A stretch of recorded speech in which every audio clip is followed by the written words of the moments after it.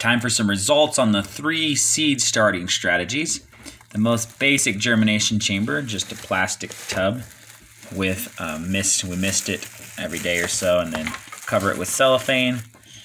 We're a week after planting, not quite, six days after planting, and the squash were just starting to come up.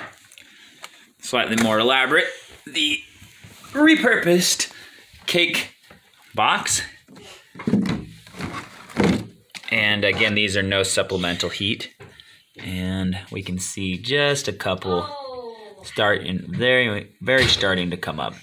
That's again six days afterwards. And then my water bath germination chamber already was moved outside, and I'll show you in a second, but it started to germinate only three days after I all right, I've moved it already out here to our makeshift cold frame because it's nighttime temperature. It needs light, but nighttime temperatures are you know, in the 30s or the high 20s, which obviously is not going to be good for bell pepper and squash seedlings.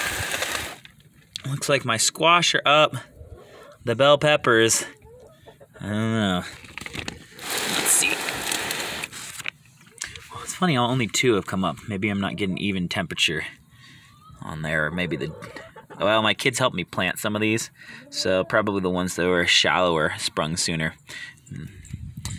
Anyways, the squash are coming up. Those ones came up after three days, so they must have been right on the surface. Hmm. Yeah, the I think it was a green zucchini and the black beauty zucchini squash. No sign hiding her hair of the bell peppers. It's only been six days though.